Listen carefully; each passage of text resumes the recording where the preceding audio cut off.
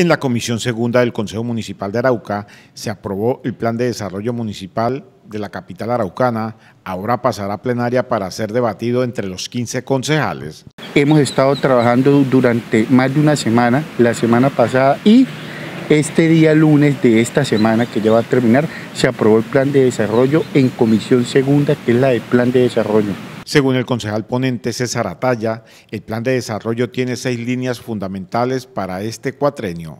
Bueno, este plan de desarrollo cuesta de seis ejes estratégicos, de seis líneas, líneas como inclusión social, líneas como infraestructura, líneas como por una Arauca verde y saludable. ¿Qué pretende la administración municipal? A través de esas seis líneas cumplir cada una de las propuestas que el señor alcalde Edgar Fernando Tobar Pedraza realizó en campaña. ¿Bajo qué postulados está construido este plan de desarrollo? Bajo los postulados de participación comunitaria, inclusión social, un gobierno transparente. Ello es lo que pretende la administración bajo enfoques territorial, diferencial y de cultura y de género. El concejal ponente César Atalla explicó los recursos que tiene este plan de desarrollo del municipio capital. Bueno, yo sí quiero aclarar a la comunidad araucana que a Edgar Fernando Tobar Pedraza le tocó la administración más complicada en recursos económicos y como muy bien usted lo sabe, Carlos, se acabaron los recursos del FAE, que es del Fondo de Ahorro y Estabilización Petrolera, las regalías son muy mínimas, el barril del petróleo bajó. Para los cuatro años, escúcheme bien, ciudadanos araucanos, tenemos 327 mil millones de pesos.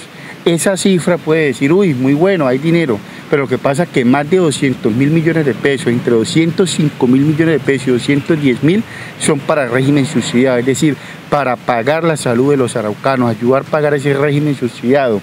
¿Qué pasa?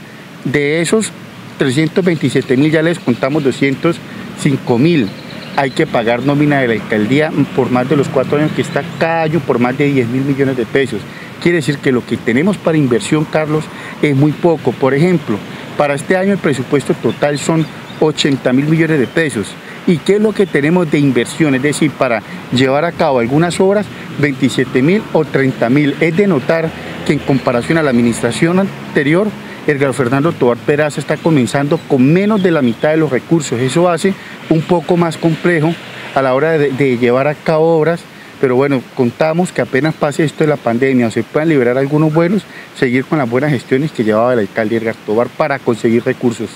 El viernes 15 de mayo pasará el plan de desarrollo a plenaria del Consejo Municipal de Arauca para su debate proyecto pasará mañana viernes a plenaria. Ya los cinco concejales de comisión segunda dimos nuestro voto positivo.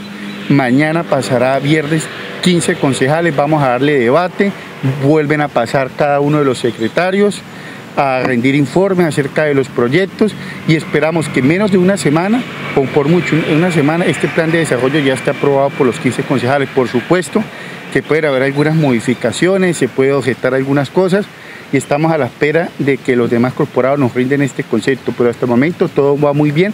En plenaria del Consejo Municipal tendrán que pasar al tablero los diferentes secretarios del gobierno municipal para que les dé a conocer cualquier inquietud a los concejales.